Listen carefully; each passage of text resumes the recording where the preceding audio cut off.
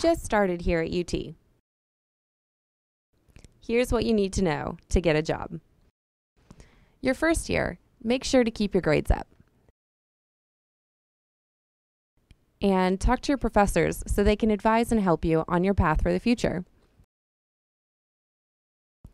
UT is a huge research institution, so if you're thinking about making it your career, make sure to get involved. Keep your eyes open and figure out which subjects interest you. And don't forget to stop by the Career Design Center more than once to create your resume. Before you know it, your first year will be done and summer will be here. Your natural instinct may be to relax, but this is a perfect opportunity to get a head start. Take this time to volunteer or continue your research. And suddenly, you'll be a sophomore. Keep up with all those activities from your freshman year. But with great power comes great responsibility, so make sure to balance extracurriculars with keeping up your grades. This year, shadow somebody in your field of interest through externships.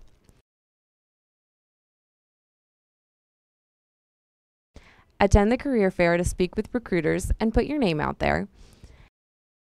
And apply for internships or research fellowships for the following summer. With a blink of an eye, boom, you're a junior, halfway there. This year, you should focus on taking leadership positions in whatever you may be involved in. Research companies that interest you. Go on informational interviews to learn what people in different fields actually do.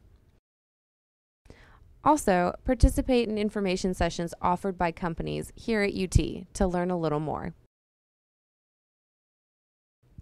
and ask your professors for letters of recommendation and references. Unfortunately, it's not time to relax just yet. It's your senior year, and you are almost there. Contact companies that interest you to see if there are any openings.